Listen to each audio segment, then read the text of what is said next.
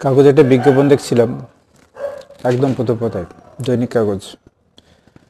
তাতে চারটে লাইনের লেখা, ইংরেজিতে লেখা, মুদ্রা কথা, এমন কোনো পাহাড় নেই যা মাপা যায় না, এমন কোনো বাধা নেই যা অতিক্রম করা যায় না। তোমরা হেলেন ক্লারের নাম শুনেছ? তিনি দেখতে পেতেন না, শুনতে পেতেন না, বলতে পারতেন না। তবু তিনি পৃথিবী বিখ্যাত অনেক সৃষ্টিশীল কাজে নিজেকে জড়িয়েছিলেন। অন্ধদের পথ প্রদর্শক। হেলেন পারেন, আমরা পারি না। কেন পারি না?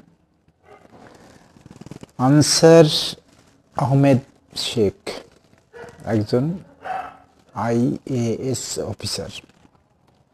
ভারতের সবচাইতে কঠিনতম পরীক্ষায় উত্তীর্ণ হয়েছেন, একুশ বছর বয়সে। তিনি একজন রিক্সাওয়ালার ছেলে, বাবা অটো রিক্সা চালাতেন।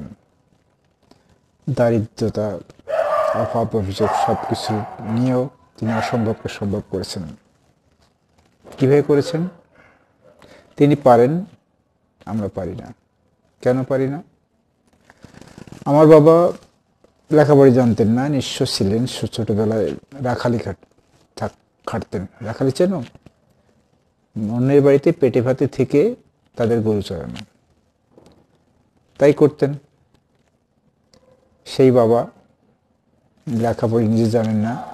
আটটা ছেলে মেয়েকে বিশ্ববিদ্যালয়ের দোরগোড়ায় পর্যন্ত পৌঁছেছেন।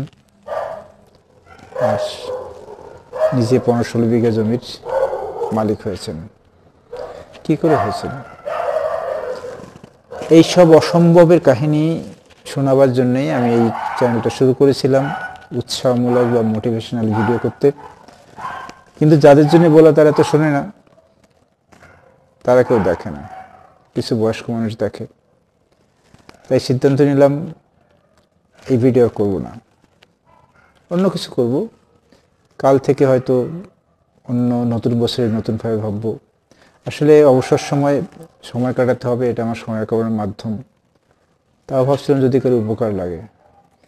কিন্তু যাদের কথা ভেবে করা, তারা তো দেখছে না। না দেখলে উপকার, অপকার কী করে বুঝব? সুতরাং বছর শেষ আজকে, চারিদিকে বাজি ফাটছে, ধুমধাম আওয়াজ হচ্ছে। আর একটু পরে আমরা নতুন বছরে পদার্পণ করব।